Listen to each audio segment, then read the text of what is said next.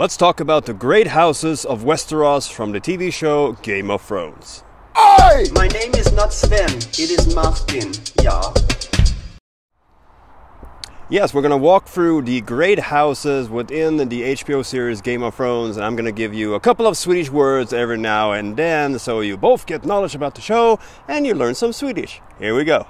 House Stark of Winterfell is a great house in the Westeros ruling over the region known as the North. Their words are Winter is coming, Vintern kommer, and their sigil is a direwolf in Jättevarg. House Lannister took over the Seven Kingdoms and the Iron Throne after House Baratheon. They are the Wardens of the West and their seat is in Casterly Rock. Their sigil is a lion, et lejon, and their words are Hear me roar, hör mig ryta, and a Lannister always pays his debts, and Lannister betalar alltid sina skulder. House Targaryen of Dragonstone ruled the Seven Kingdoms for three centuries before it was deposed by Robert's Rebellion.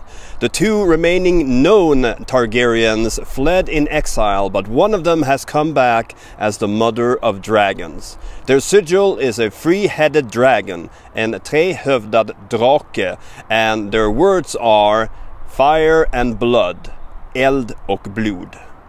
House Baratheon had their seat in the Red Keep at King's Landing. They took over after Jaime Lannister killed the Targaryen king Aerys II, also known as the Mad King. Robert Baratheon married Cersei Lannister, who later had him killed through her cousin.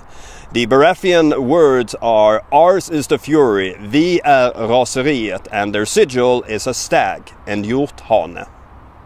House Tully ruled the Riverlands, and the head of the house was Lord of Riverrun.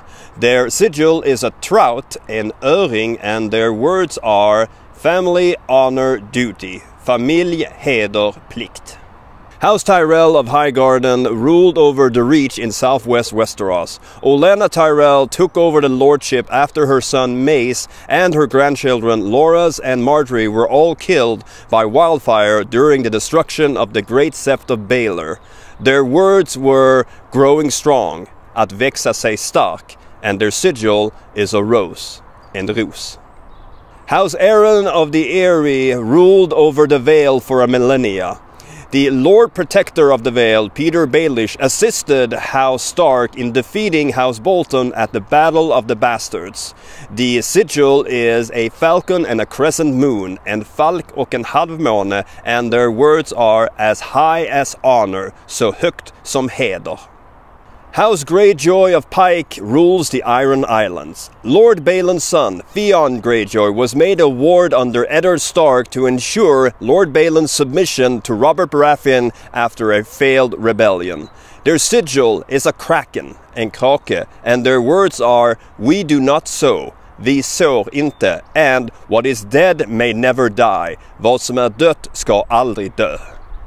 House Martell of Sunspear ruled the southern peninsula of Dorne in the very far south. Prince Doran and Trystane were both assassinated by Ellaria Sand and the three eldest Sand Snakes.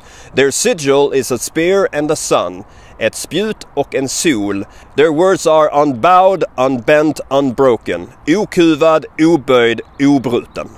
House Frey of the twins came to their position through treachery against House Tully, their former lords. After the assassination of Lord Walder Frey and his sons Lothar and Walder by Arya Stark, and the subsequent killings of all male Freys thereafter, the line is uncertain.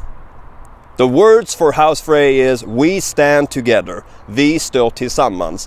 Their sigil is two grey stone towers and the Bridge of Twins, två grå och tvillingarnas bro. So there you go, a look into the great houses of Westeros and let me tell you, let me ask you, are you following the show? What do you think about season 8 and where are we going to land? If you're watching this after the end of the series, what did you think? When was it good? When was it not good? Did it end well? And let me ask you, who's your favorite character?